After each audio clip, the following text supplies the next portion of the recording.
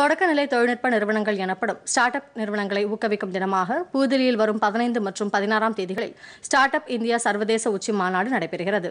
இந்த மாநாடு பிரரம் என்ற பெயரில் நடத்தப்படுகிறது. இது தொடர்பாக ட்விட்டரில் கருத்து தெரிவித்துள்ள பிரதமர் நரேந்திர மோடி தற்போது பெரும்பாலான நிகழ்வுகள் காணொலி வாயிலாகவே நடைபெறுவதை சுட்டிக்காட்டியுள்ளார். எனவே இளைஞர்கள் எங்கிருந்தாலும் இது போன்ற நிகழ்வுகளில் ஆர்வத்துடன் பங்கேற்பதற்கு மிகப்பெரிய வாய்ப்பு ஏற்பட்டுள்ளது என்றும் அவர் கூறியுள்ளார். அதுபோன்ற ஒரு வாய்ப்புதான் பிரரம் உச்சி மாநாடு என்றும் இதில் இளைஞர்கள் பங்கேற்க வேண்டும் என்றும் அவர் கேட்டுக்கொண்டுள்ளார்.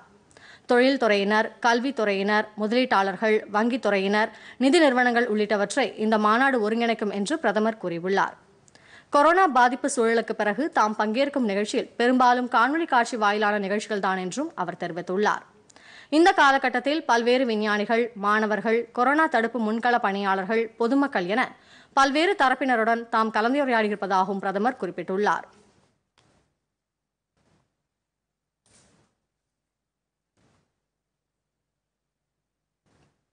பதினைந்து மற்றும் பதினாறாம் தேதிகளில் நடைபெறும் இந்திய சர்வதேச ஸ்டார்ட் அப் உச்சி மாநாட்டிலும் திரளான இளைஞர்கள் பங்கேற்பதை தாம் ஆவலுடன் எதிர்நோக்கியிருப்பதாக பிரதமர் கூறியுள்ளார். பொதிகை செய்திகளை யூடியூபில் தமிழ் நியூஸ் தூர்தர்ஷன் என்ற சேனலிலும் முகநூலில் டிடி பொதிகை நியூஸ் என்ற பக்கத்திலும் ட்விட்டரில் டிடி நியூஸ் சென்னை என்ற பக்கத்திலும் இன்ஸ்டாகிராமில் டிடி பொதிகை நியூஸ் என்ற பக்கத்திலும் காணலாம். மேலும் உங்கள் கருத்துக்களை Podhigai DD news at Gmail dot com என்ற மின்னஞ்சலிலும் தெரிவிக்கலாம்.